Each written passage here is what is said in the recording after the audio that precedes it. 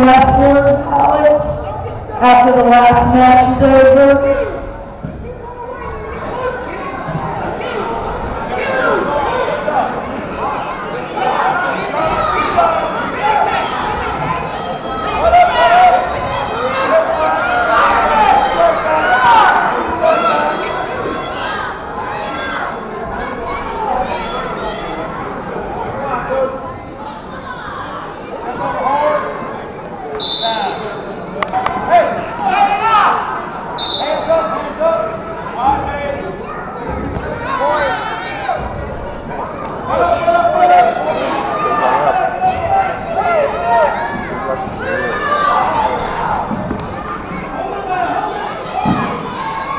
Oh!